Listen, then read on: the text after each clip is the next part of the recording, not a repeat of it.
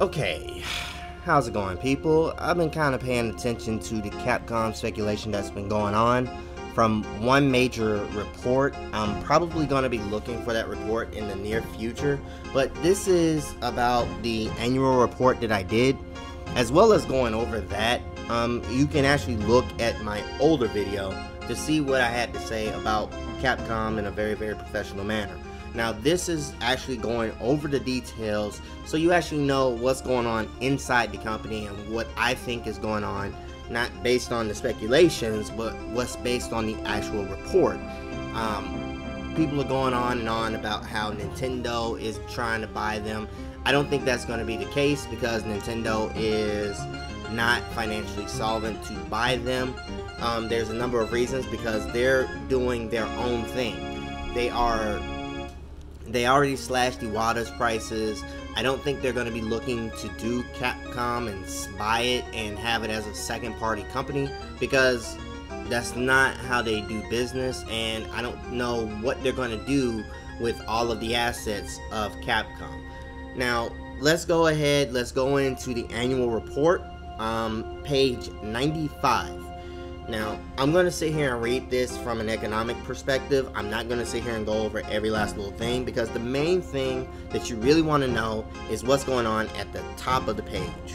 The major shareholders is exactly what I'm going to have you everybody look at. The max or who are the major shareholders? You have Crossroad Limited, the Master Trust Bank of Japan, the Chase Manhattan Bank, uh, the Nomura Bank, Street State Street Bank, then you have Kenzo Sugimoto, Misako Sugimoto, Yoshiyuki Sugimoto, Japan Trustee Services Bank, and Haruhiro Sugimoto. So you have um, the Sugimoto, the Sugimotos are one side of the banks, and the other one is, uh, ah, I messed that up. I apologize. But you have the Sugimotos on one side and you have the banks on another. What is going on here? Well, as you can see, the banks want to have a lot more short-term profit. If you've looked at any other part of the um, the the report, the fact of the matter is that they've been kind of getting suckered by Kenzo Sugimoto. What Kenzo has been doing, he's been looking into the entire lifestyle of being like this wine merchant and all of his money, he gets to do what he wants, and people are kind of getting tired of that. The banks want to have a short-term profit. They want to keep getting more and more sales. Now the Sugimotos want to just keep the the train ride going. That and it's pretty lucrative. They keep the stocks. They sit here and vote, and everything is a status quo. But this is very very chaotic, especially in an economic perspective. Now nobody's talking about the shareholder issue.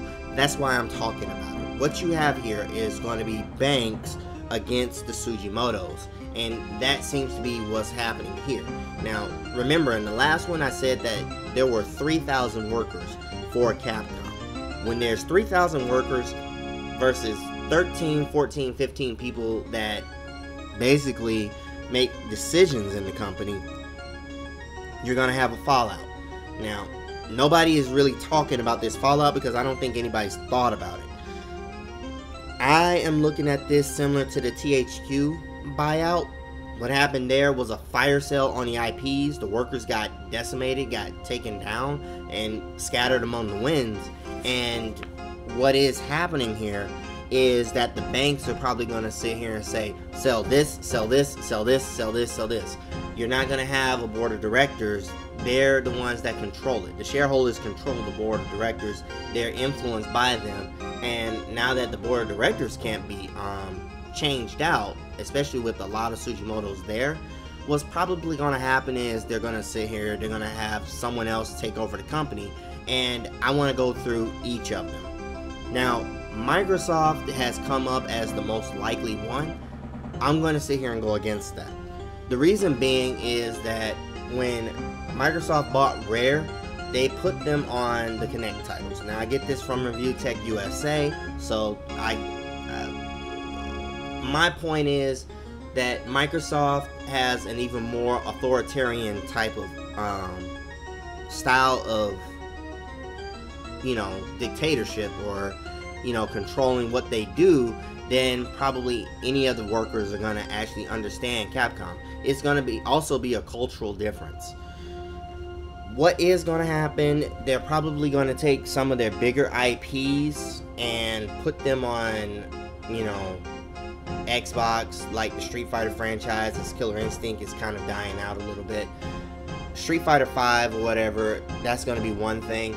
But the other problem is Capcom, for the most part, I mean, they have some multi multi universe, but for Microsoft to come in, I don't think they're going to give them freedom of choice to decide what they're going to do. Another one, Sony. Now, Sony for me, I mean, they just had that fire sale. They just kind of destroyed um, their brand like Naughty Dog. I mean, Neil Drunk, Druckmann, whatever the hell, however, however the hell you say his name, basically got a good karma kick in the ass for giving Anita Sarkeesian that award, but that's another story for another time. For the most part, Sony is doing a big restructuring, and I don't think they would want to get Capcom right now. Now, it would probably work because they would give Capcom some autonomy but you'd have to get rid of the board of directors, and I don't think Sam's or Sony is willing to do that. Um, Nintendo would be very, very interesting. Would they sit here and get rid of the Sugimotos because the Sugimotos don't really do shit for the company? I'm being very honest. Um, Suji, Kenzo Sugimoto, for the most part, has said he's going to go against piracy, and for all of the discussions that he's had, he is out of touch with what's going on in the digital era. He sits here and says he's going to try to implement more DLC, and that's just a recipe for failure. Everybody already knew that, that it was not going to work, you know, long term. It was a short term strategy, and pretty much it destroyed them. Just like Ubisoft's um, crazy crap is sitting here and having a, an effect as well. Now, as I talk, the one thing I do want to stress I mean, anything's up for grabs, but the banks, if you're looking into them, they're going to be looking for short term profits. I'm expecting, I'm expecting that they're not going to want to hold on to IPs they want to sell. So if they start to strip the company, a lot of assets are going to go. Capcom has arcades, they have pachinko parlors, they have a lot of things that are Japanese centric. And any American company coming into it is not going to understand that and it's just going to tell them to sell, sell, sell just so they can sit here and push IPs. And that's not really the case. They don't understand what's going on. Now, there's another option. If Capcom was willing, they could sit here and start selling shareholders to the developers and to the people that are in charge of the unit and kind of see how that's going to work out for them. But unfortunately, not a lot of them are seeming to do that. Now, the Yoshi, the um, Ono situation kind of makes sense in this this aspect in this light. What is happening there is that he's basically has to distance himself because I don't think he wants to be a director because when the shit hits the fan, he's probably going to be one of the first few people to go. Maybe he wants to do his own individual product projects to sit here and make something brand new so that way he looks better for whoever eventually buys them out. Now, there's other people, Shu Takumi. I believe that if anything, if you start stripping the personnel, a lot of the big guys are probably going to go to other companies but I don't know what's going to happen to all 3,000 workers. The 16 um, guys at the top, or 15, 16, what's going to happen to them is they're probably going to get stripped off, fire sold, they get make a lot of money, but the workers are basically going to be the ones that get screwed. So with 3,000 people, you got to sit here and kind of figure out what's going on. Now, one of the other things, as I looked at the financials, there are retired benefits. Those retired benefits are pretty much going to be given to either A, the CEOs and COOs, or it's going to be given to the shareholders in a higher stock value of some sort. Now, these are speculations, but again, THQ being what it was, Infinity Ward being what it was, These are examples of what goes on in a capitalist organization. Now, as I said, there's other alternatives. If they really wanted to do more, they probably sit here and scale back on the authoritarianism that they have, the corporate compliance that they have. Um, I think that's in page 45 to 46 if you want to know.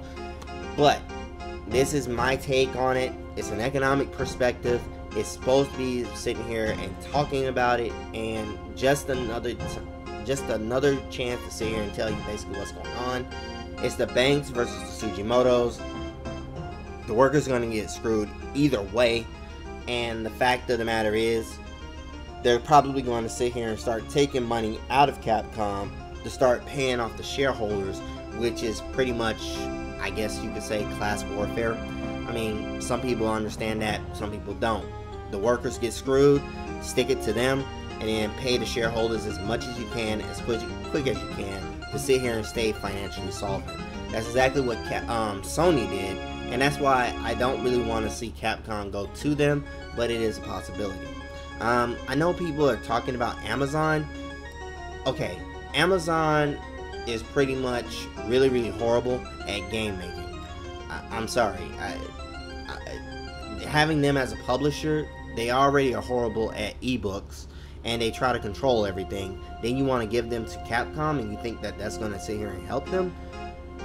You got to pay attention to the companies, man. And the companies, for the most part, are the ones that are trying to do like all of this crazy crap to other companies. And that's pretty much it. That's all I really had to say about the subject. Hope that hopefully you got something out of it. If you want to see the annual report, it'll be down below.